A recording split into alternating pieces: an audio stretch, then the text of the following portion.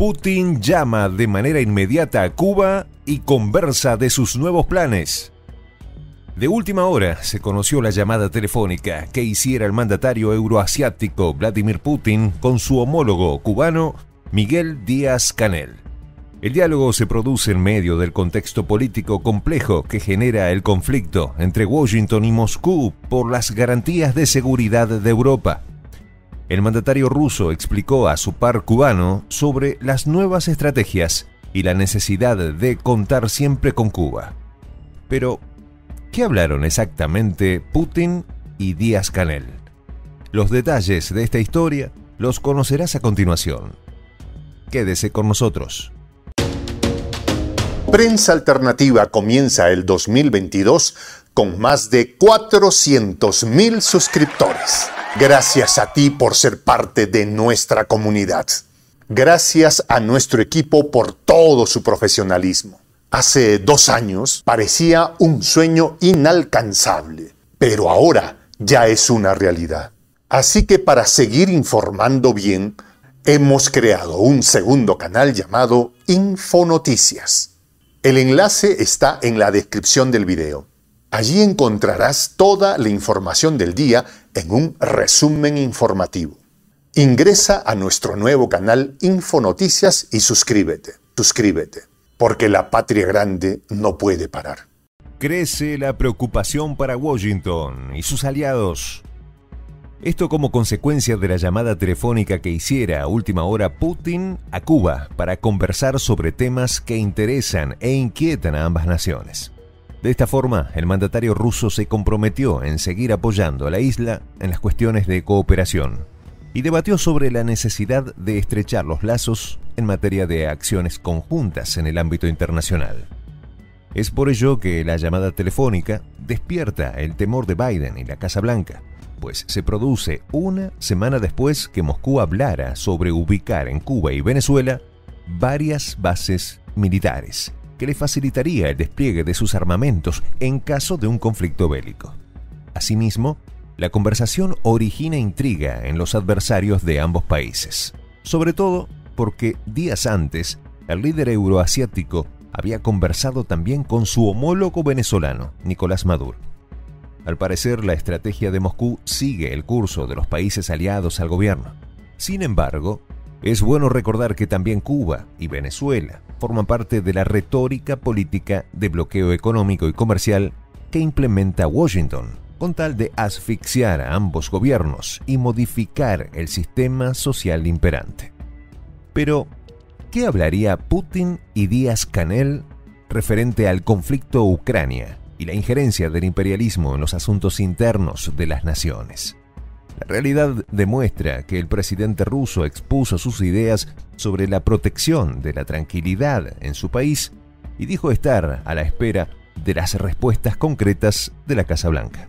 Asimismo, Putin aseveró que el diálogo con el líder socialista de la isla caribeña lo siguiente. De acuerdo a nuestros principios de asociación estratégica y tradiciones de amistad y comprensión mutua, debemos incrementar la cooperación. La iniciativa de Putin ha calado interés en las principales agencias y medios de prensa, sobre todo por el posicionamiento y extensión que el mandatario euroasiático está teniendo en América Latina. Esto se debe además a que no solo las conversaciones con la isla son motivos de análisis, sino que se trata de uno de sus mayores aliados en la historia del sistema social socialista. Según refiere Pilar Bonet, periodista del diario El País, en La Habana radicaba el radar de Lourdes, usado por la antigua Unión Soviética para controlar las comunicaciones en el área.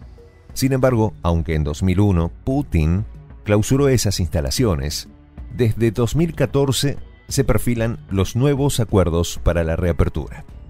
Tal es así que Rusia pretende demostrar, de forma simbólica, que sigue siendo potencia global con presencia en el Caribe y capaz de responder a las políticas y acciones del imperialismo, incluso como parte también de las garantías de seguridad de las naciones con las que coopera desde hace muchos años.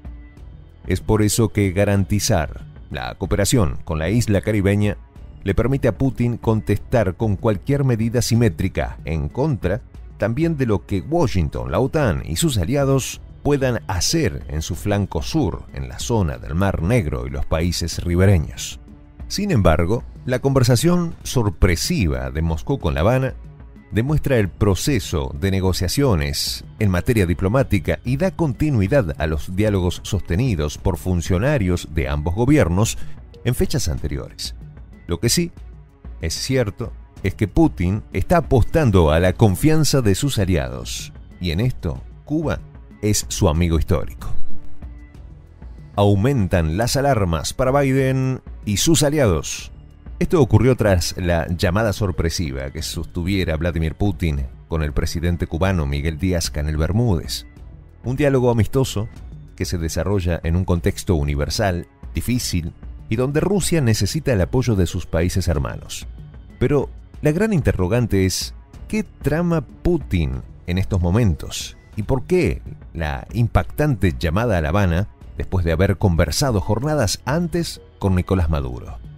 Lo cierto es que la vinculación con América ha crecido en esta semana, pues el diálogo con Díaz Canel se suman las visitas planificadas de los presidentes de Brasil y Argentina, Jair Bolsonaro y Alberto Fernández, quienes se han mostrado a favor de la política exterior implementada por Putin.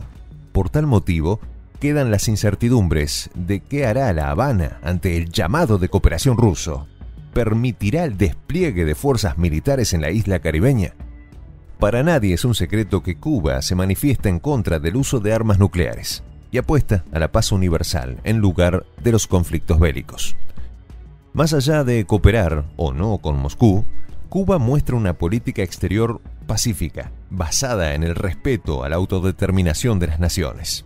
Por tanto, todos están a la expectativa de si la isla caribeña permite despliegue de armamentos rusos o militares de ese país teniendo en cuenta la posición geográfica favorable que presenta en la región. Esto hace que la incertidumbre para la Casa Blanca y sus naciones aliadas aumenten. Lo cierto es que la llamada llega en un momento significativo para Moscú. De ahí que Putin manifestara, debemos reforzar los contactos a diversos niveles. Esto afirma que las relaciones entre el Kremlin y La Habana aumentan.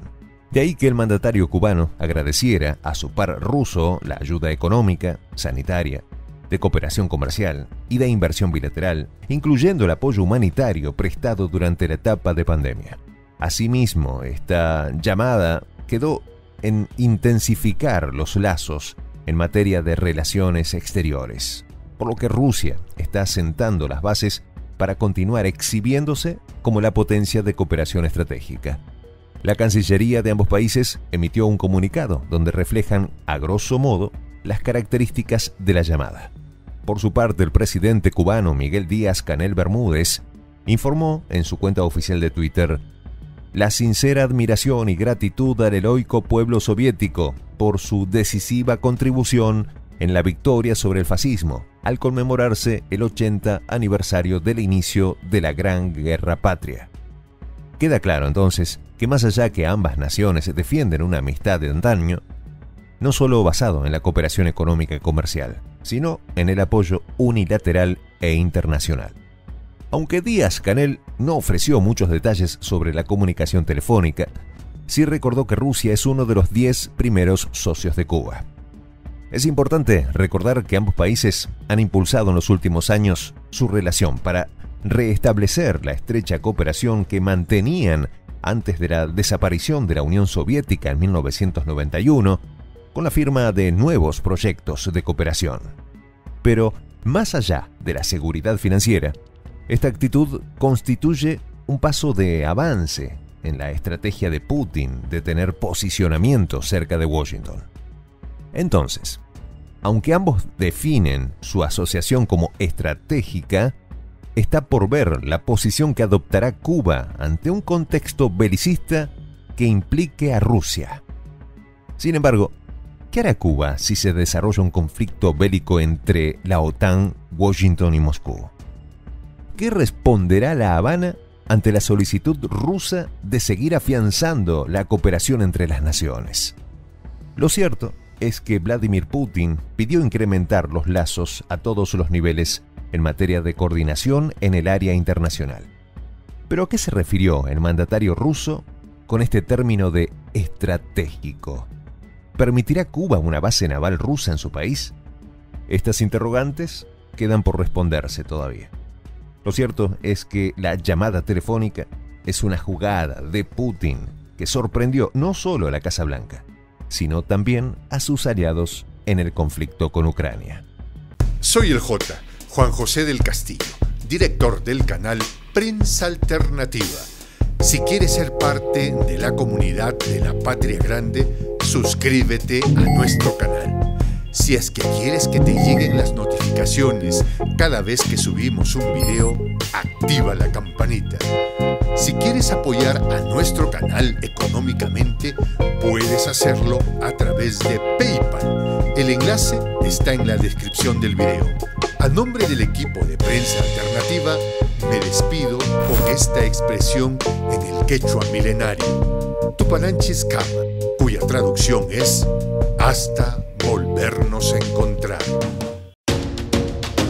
Prensa Alternativa comienza el 2022 con más de 400.000 suscriptores.